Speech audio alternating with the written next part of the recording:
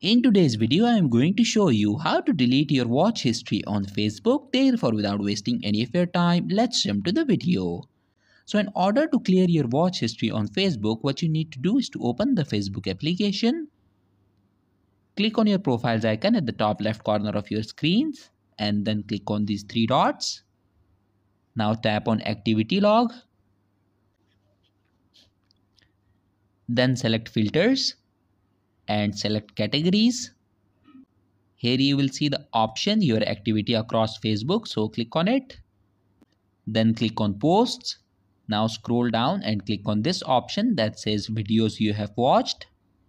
Here you will see all the videos that you have recently watched on Facebook and in order to clear them all you have to do is to click on this clear video watch history option.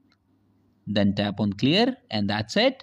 In this way, you can delete your Facebook watch history. So that was it for this video and I'll see you guys in the next one. Peace out.